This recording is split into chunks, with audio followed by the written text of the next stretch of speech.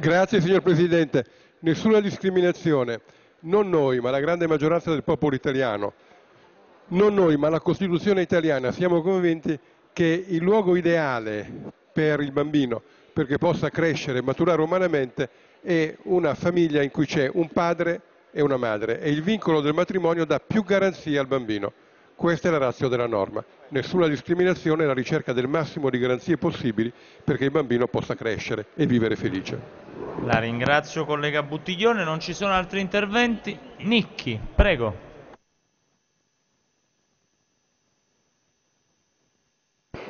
Per dichiarare il voto favorevole di SEL. La ringrazio, ci sono altri interventi?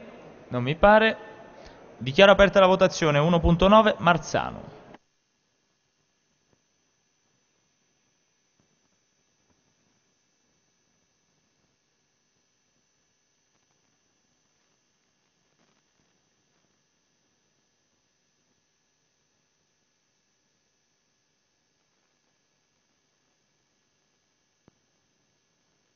Palese,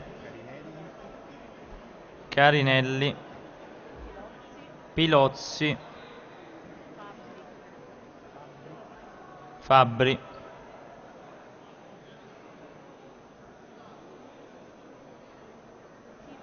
Tidei, Cera,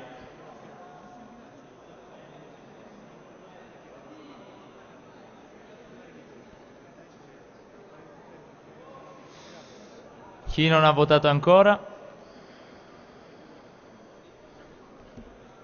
Bene, dichiaro chiusa la votazione. 139 favorevoli, 286 contrari, la Camera respinge. Adesso andiamo all'1.11 Bonafede. Bonafede.